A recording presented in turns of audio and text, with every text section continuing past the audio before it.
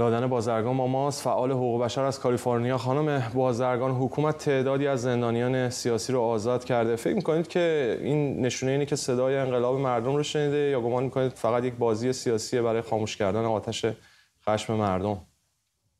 این مثلا فقط یک بازی سیاسی رژیم بیش از 15 هزار نفر رو دستگیر کرده. هنوز کسانی مثل مجید توکلی الهام افکاری رضا کوشکی نژاد سجاد عسکری توماج صالحی در زندانند. توماج رو هم دیدیم که بهش اتهام افتاده فل زدن و هزاران دیگری که در زندانن و صداشون شنیده نمیشه و باید همه اونها آزاد بشن و این رژیم باید که بره چون یک همچین استبدادی قابل نگهداری نیست. خانم بازرگان حتی اگر یه بازی سیاسی هم این اتفاق رو فرض بکنیم آیا نمی‌تونه یک نشانه مثبتی باشه از اینکه جمهوری اسلامی که هیچ وقت حاضر نبود حتی یک قدم به عقب بگذاره الان یک حداقل میشه این نشانه رو دید که شاید نگرانه از اتفاقی که داره دو ماه و خورده که در خیابانهای ایران میفته و قادر نبوده به قول خودشون جمعش بکنه؟ من فکر می‌کنم که این به خاطر فشارهای بین المللیه مثلا حسین رونقی از سال 88 زندانی سیاسی سازمان ملل راجبش می‌دونه Amnesty International راجبش می‌دونه. برای وال استریت جورنال مقاله نوشته. تمام editor های روزنامه وال استریت جورنال در دفاع از اون مقاله منتشر کرده و خواستار آزادی شده بودن. 64 روز اعتصاب غذا بود. چون از مرگش ترسیدن آزادش کردن. اینجوری نیست که همینجور از روی چی بهش میگن آدمای خوبی بودن اون رو آزاد کرده باشن. این رژیم نه قابل تغییر نه قابل اصلاح و نه درس می‌گیره از گذشته های خودش.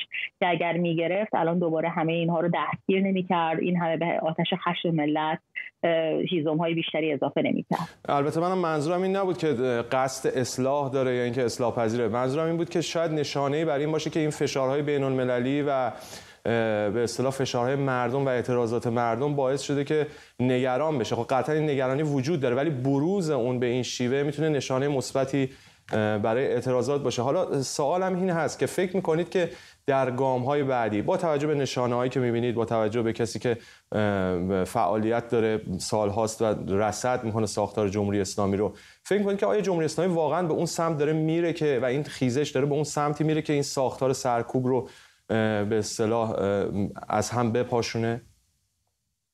بله اولا تجربه های تاریخی نشون میده که هیچ استبدادی تا ابد پایدار نیست و دوما ما نشون میده که به طور تاریخی چقدر پیشرفت داشتیم از بعد از جنبش 88 بعد که یعنی دی ماه 76 رو داشتیم بعد 88 رو داشتیم آبان دی ماه 96 و آبان 98 الان داریم می‌بینیم که چقدر اعتراض ها بیشتر شده پراکنده تر شده. تمام سلبریتی ها به پشت مردم اومدن.